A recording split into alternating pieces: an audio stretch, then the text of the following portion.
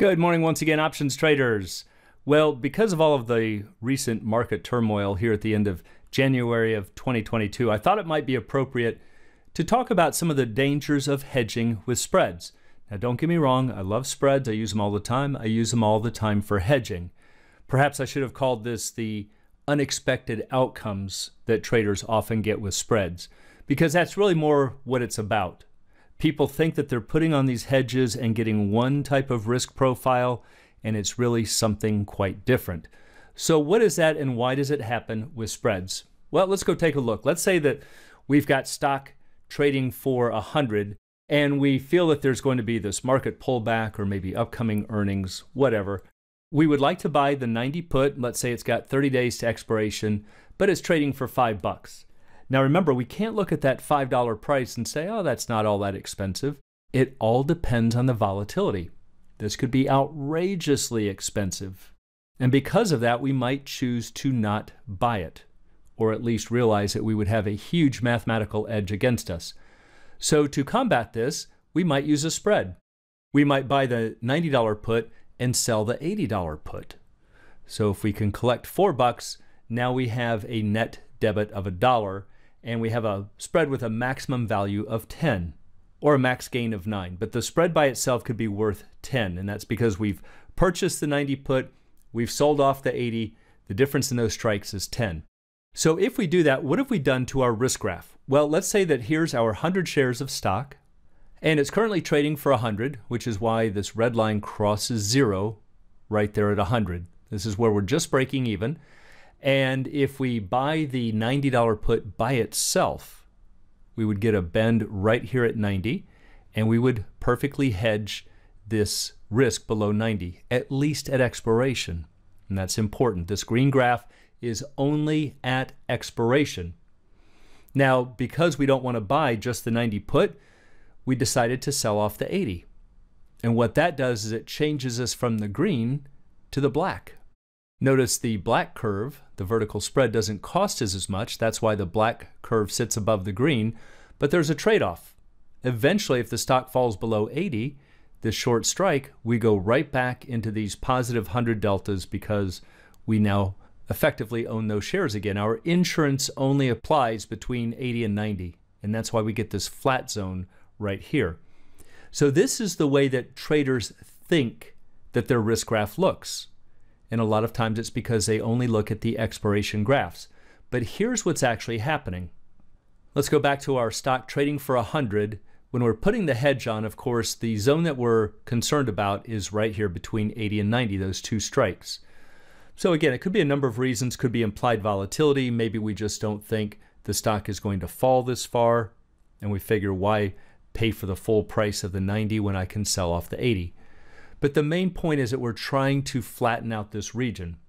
So if we buy the 80-90 put spread with 30 days to expiration, this is what it looks like. Notice it's not a whole lot different from the red.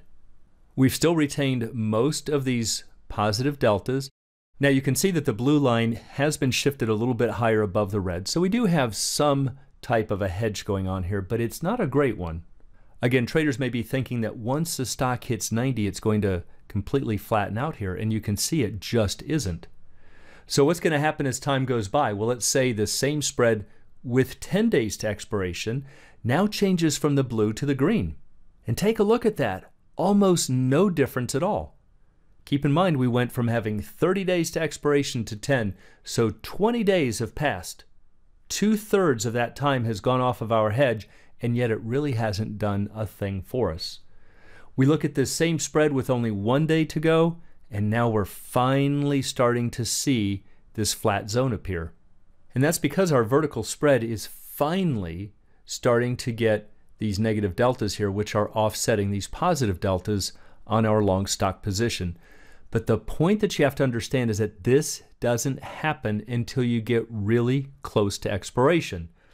So if you want to use a vertical spread like this, maybe to head off a potential maintenance call, not a good idea. It's not going to do it because you're still going to have those large positive deltas. So then that brings up another type of a problem, And I've talked about this in a recent video where some traders will use what's called the neutral ratio. And that is found by taking 1 divided by delta. And what this does, it shows how many deltas you need to fully hedge today.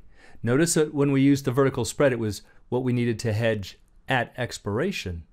But what if you wanted that full hedge to be kicked in today? Well, let's go back to where the stock is trading for 100, and let's say that that $90 put has a delta of 0.45. To find the neutral ratio, we take 1 divided by 0.45. It gives us 2.22 puts. So we would need just over two puts if we wanted to hedge all stock prices below the current price right now. See, that's a very different problem. Now, of course, we can't buy 2.22, so let's just say that we buy two. But the problem is, yes, we get to hedge right now. So here's our risk graph. We've shifted from the red to the green. And right below 100, you can see that we're starting to flatten out. We didn't continue down with these positive deltas. So that might get you out of the woods today and keep you from falling, but look at what else it does. You've now got these negative deltas over here. And that's because, in this example, you bought two puts. So the trade-off here, the big danger, is that you've now shifted this break-even point way off to the right. And you've also got this lower break even way off to the left. And that means that in most cases, you probably just spent a lot of money to have a guaranteed loss. Stock will most likely stay somewhere between these break even points. What happens with 15 days to expiration? Okay, so half the time has gone off, we move from the green to the blue.